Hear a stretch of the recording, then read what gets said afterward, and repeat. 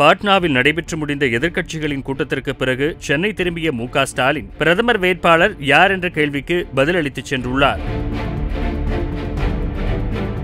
வரும் இரண்டாயிரத்து இருபத்தி நான்கில் நாடாளுமன்ற தேர்தல் நடைபெற உள்ளது பாஜகவை வீழ்த்த எதிர்க்கட்சிகள் ஒன்றிணையும் முயற்சிகள் நடைபெற்று வருகிறது. இதற்கான பேச்சுவார்த்தை கூட்டம் நேற்று பீகார் தலைநகர் பாட்னாவில் நடைபெற்றது. பல மாநில எதிர்க்கட்சி தலைவர்களும் இந்த கூட்டத்தில் பங்கேற்றனர். கூட்டத்தில் கலந்து கொண்ட பின் நேற்றிரவு சென்னை திரும்பிய மு ஸ்டாலின் செய்தியாளர்களை சந்தித்தார். அப்போது இந்தியாவின் ஜனநாயகத்தை காப்பாற்றுவதற்காக பல்வேறு கட்சிகளின் கலந்தாலோசனை கூட்டம் நடைபெற்றது என குறிப்பிட்டு மிகுந்த மகிழ்ச்சியும் நம்பிக்கையும் உருவாக்குவதாக இந்த கூட்டம் அமைந்திருந்ததாக தெரிவித்தார்.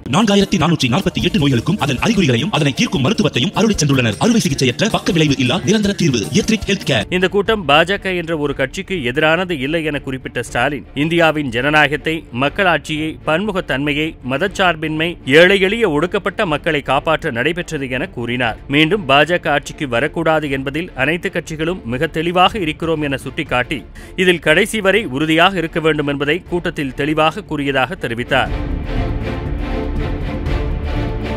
தொடர்ந்து பேசியவர் மதச்சார்பற்ற கட்சிகளின் ஒற்றுமைதான் தமிழ்நாட்டில் அனைத்து வெற்றிக்கும் காரணமாக அமைந்தது என குறிப்பிட்ட ஸ்டாலின். அதுபோல அகில இந்திய அளவிலும் இந்த ஒற்றுமை வேண்டும் என்று வலியுறுத்தியதாக கூறினார். மேலும் பாஜகவை வீழ்த்துவதை ஒற்றை இலக்காக கொண்டு கட்சிகள் ஒன்றுபட வேண்டும் என நினைத்தது பாட்னாவில் ஏற்பட்டிருக்கிறது என்றும் அகில இந்திய அளவில் பாஜக தோற்கடிக்கப்படும் என்பதில் சந்தேகம் இல்லை எனவும் கூறினார்.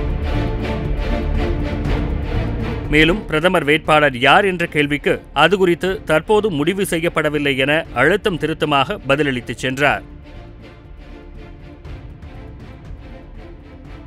செய்திகளை உள்ளது உள்ளபடி தெரிந்து கொள்ள ரெஃப்ளெக்ட் நியூஸை சப்ஸ்கிரைப் பண்ணுங்க.